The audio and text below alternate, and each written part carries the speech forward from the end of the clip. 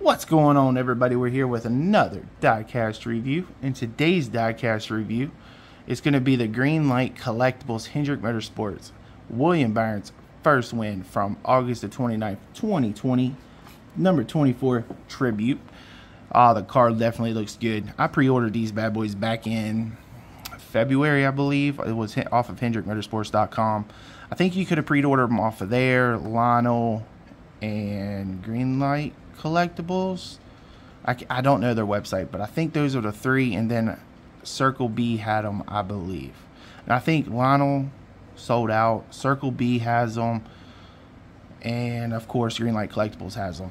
But I pre-ordered, like I said, I pre-ordered these back in February. I actually pre-ordered, I think it's five or six of them. I can't remember how many, but I pre-ordered them all because I cannot wait to actually see what these things look like. They definitely look good. Counting, they got a die-cast metal chassis. That looks good. I think the doors open and the hood. I mean, it's coming off the 1969 Chevrolet Camaro. But the packaging looks good. Looks really good. You got the uh, Hobby Hobby Hobby exclusive Greenlight Collectibles Hendrick Motorsports. And of course, I read all that. Now, on the back, there's one thing that I wish they would have done on this, and that's put something about this race on the back. That would have made it look a lot better than Hendrick Motorsports race use bumper sweepstakes, scan for your chance to win. To me, I think that's just generic. I think they could have put a little bit more design on the back. That's just my opinion. But other than that, I mean, car definitely looks good. Packaging's pretty good. I mean, that's my only flaw about the packaging. But it sure does look good and it contains one diecast vehicle, which I just noticed that. But you can see how it's metal on the bottom. I'm kind of curious, are they rubber tires or are they plastic tires? Definitely to be finding that out. So let me actually crack this bad boy open and we're to take a closer look at it and see if, I think it was $7.99. Let's see if $7.99 is worth it. Okay, we got that opened up, but still, the only thing that I would say with these is please make something packaging that we can just open and not cut up and just toss this. Kind of sucks that we can't put them back in the packaging. Just my opinion. Just wish there was a little bit more to it. But actually did, while I was trying to open it up, I went ahead and tried to find the price of this one out. I actually paid $7.95. It's off of HendrickMotorsports.com which they still have them available on there. Lionel Racing still has them available, and Circle B has them available. So, and Circle B and Lionel both sells it for $7.99. Like I said, Hendrick sells it for $7.95 but you can buy, you can still pre-order the rest of them. So I think I have another one coming. I can't remember. I think that's Chase Elliott one. So once I get that one, we're definitely gonna be doing a review. Like I said, I believe they have a Jeff Gordon, Jimmie Johnson. I'm not sure about Alex Bowman. So I do know Chase and Williams, the only two that is available right now. The rest of them still in pre-order.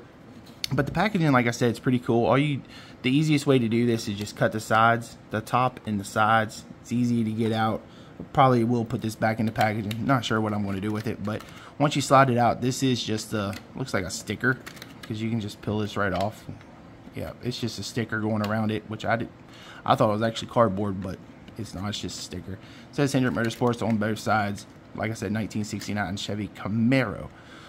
Oh, cannot wait to do this. Car is beautiful, easy to put back in. I mean, like I said, just wish the packaging was a little bit easier to put like them back in there where they were just my opinion. But man, these tires are actually like a rubber, hard rubber. So they are, and they do have, uh, they do have, th uh, I can't even say it, thread on them. So which is pretty cool. You can see how it's a metal diecast chassis body. That looks good. It says 1969 Camaro used under license. What does that say? Made in China too. But let's take a. Oh, the hood does open. Trunk does not. Doors do not, but the hood does which we're going to save that to the end. Looks like it's kind of challenging to open it up. Uh, can we get it? Yeah, we're going to save that to the end. So, you got the Goodyear here on the left front. You got the 24. Of course, you got door handle. Inside looks pretty decent, too. Good detail for a 164. So, they did pretty good on that. You got Liberty, Axalta, And on the back, you got Valvoline, Liberty University with the 24 you got Liberty Byron on the back window, Liberty up top, Liberty Axalta, Valvoline 24, Goodyear. You can actually see inside. Um, trying to see. Yeah, they have do have gauges in there, which is pretty nice. Trying to get that to focus. It's kind of hard to focus. Yeah, you can see a little bit of the dash there. And then you got the front with the style of the 1969 Camaro, which looks good. Goodyear Eagles on all four tires, but they're not slicks, unfortunately. Overall, the car does have some weight to it, which is pretty nice. Now, let's actually see if we can get this hood to open because this hood seems like it's stuck down in there. Oh, let's use your fingernail, I think. That hood is freaking hard to open. I don't want to break it. Ah, that's as far as we're going to be able to go with it. Uh, see if we can get this light to go down. Um, see if we can get this light. Come on. Uh, I don't really have the greatest lighting for it. So, that sucks. Because I want to actually see inside of that. Okay, I had to actually see what this inside of this body looks like. So I'm to grab a flashlight here and see if we can shine a light in there. And see, okay, we have an orange engine. That looks pretty good. Details looks good. The hood does not open that high. But other than that, you can only see the orange. What is that? Like the engine? The block in it. Uh, I mean, it looks good. Nothing up top. So other than that, I mean, that's pretty much all you can really see in there. Like I said, the hood doesn't really open that much. But I did notice when we shine the light in there, turn this flashlight off. Don't want to kill the battery in that.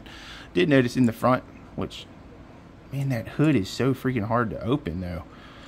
Did notice on the headlights you got the 24 and you do have Hendrick Motorsports there. Definitely looks good. I like the car. Definitely worth it if you if you're a William Byron fan or a Hendrick Motorsports fan. Definitely pick them up. I wish they would do actually do more of these because this is his first win paint scheme, which is nice. I do like that first win.